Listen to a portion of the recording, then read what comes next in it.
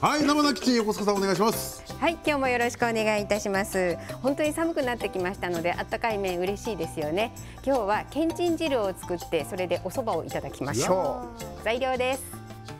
はい具沢山なんですけれども大根、人参、ごぼう、里芋そして椎茸は干し椎茸にしました。必ず入っているのがお豆腐ですね。けんちん汁に入ってます。そして今日材料に忘れてしまったんですがこんにゃくがあればなおいいと思いますよ、えー、用意してみてください。お蕎麦ゆでそばでも乾麺でも結構です。人数に合わせて用意してください。調味料はごま油ちょっと多めです。そしてだし汁しっかり濃いのを出してくださいね。お醤油とお塩も使います。詳しいレシピは D ボタンでご覧いただけます。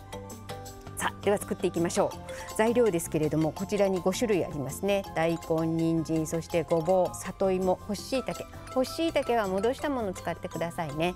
でお蕎麦と一緒に食べるのであんまりゴロゴロ大きいと食べにくいのでちょっとね薄めに切ってます。でここに豚肉入れてしまうとけんちん汁じゃなく豚汁になりますのでお気をつけくださいね。あの けんちん汁一応お精進料理ですのでね。つい入れたくなるんですが、ね、はい今日はお豆腐で我慢していただきましょうね。でこの辺りをまず炒めていきます。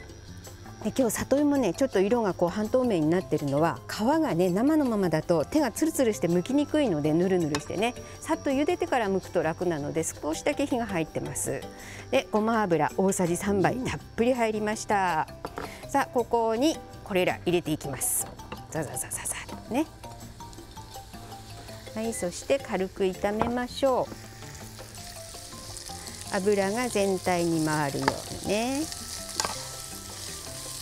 そうあこんにゃく忘れたんだな。すいません。ここにこんにゃく入ってるとやっぱりねけんちんにはこんにゃく欠かせないんですが材料に忘れました。さあそしてお豆腐です。これ木綿豆腐使ってますけれどもあの刻まずに手でぐしゃっとこう潰してね。でほぐしながら炒めていってくださいけんちゃん料理お豆腐を使った精進料理をねだんだんこう流れてくる間にけんちんってなったらしいですけれどもけんちん汁です。このお豆腐でねタンパク質取ってください。はいいいぐらいに油がこう絡んできたらこの後ですね蓋をします。蓋をしてあ一つ目のポイント忘れましたね。はいポイントです。はい。ごま油ちょっと多めに入りました。このごまの風味がすごくいいんです。あと油が入ってるので冷めにくいですね。冬は油ちょっと多めに取った方がいいですよ。そして蓋をして弱めの火加減で蒸し煮にしていきましょう。あ忘れた。はいはいはい。それだと蒸されないんだよね。醤油醤油ってありがとうございます。こんにゃくの食からね今立ち直ってなかった。はい。お塩ちょこっとねお塩小さじ1杯あ3分の1それからお醤油です。ちょっとお醤油多めに入れようかな。小さじ2杯ぐらい入っていいと思います。そして絡めてからねこれやらないと具に味がつかないんですよ。忘れずに入れてくださいね。さあそして蓋をして戻りましたね。弱めの火加減でだいたい10分ぐらい蒸しにしていってください。強いとどうしてもねあの野菜から出た糖分で底の方が焦げるのでお気をつけくださいね。はいポイントです。はい。下味をつけて蒸し煮ですよ。下味つけてくださいね。こうすると具にしっかり味が染みますしあとは蒸し煮にしてるので甘みが増しますね。今日みりんとかお砂糖を使わなくても甘みがほんのり出てますので美味しいですよ。さあ10分ぐらい経つとまあ15分ぐらいかかる場合もありますけれども具がほぼほぼほぼこんな感じでほら汁気出てきてね。柔らかくなってます。ちょっとお箸刺すとかわいそうなんでこの辺もねツーッとツーッと入るぐらい柔らかくなってますからね。さあここにだし汁加えます。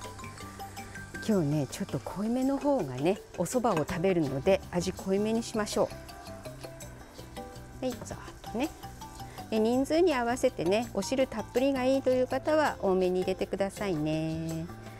はい入りました。さあそしたらここで味をつけていきましょう。味を見てくださいね。今入っているのは下味につけたお塩小さじ3分の1とお醤油が小さじ1杯ぐらいですね。ではいお塩と残りのお醤油で味をつけていってくださいね。でまた少しねなじませるのに煮ていきましょう。まあ、56分ぐらいでいいと思います。具も柔らかくなってますからね。さあここでお湯が沸きましたのでお蕎麦いきましょう。今日はゆでそばにしました。これねこっちに入れると後取るの大変です。あのすくうちに全部伸びてしまうのでこれはやっぱりねこっちで茹でた方がいいですね。でその分お汁の味濃くしてますからね。はい。でついこう触りたくなるんですけどちょっと待ってくださいね。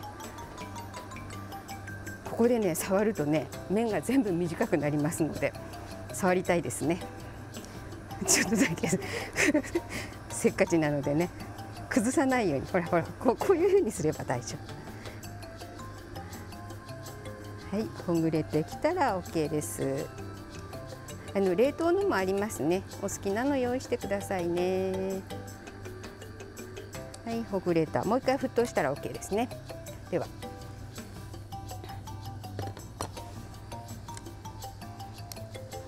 はい沸きましたのでザザーっとお湯を切ってね。これ一回やっぱりね茹でた方がいいですね。ちょっとね酸味がある時がありますからねお蕎麦のね。はいざるに上げて切ったら丼に入れましてここでちょっとこっち来ますよ。ここね。はい熱々のこのお汁をかけてあげましょう。はいたっぷりです。これあれ？お肉ないなと思っても入ってないですからねお肉ね。入れたいところですが今日はけんちん汁だからね。はい。そしてうわ熱々です。今日小ネギとそれからね柚子にしましょう。お蕎麦だから。本当に和風ですね。はい。ヘギ柚子です。はい完成しました。はいできました、けんちんそばです。美味しそうですね。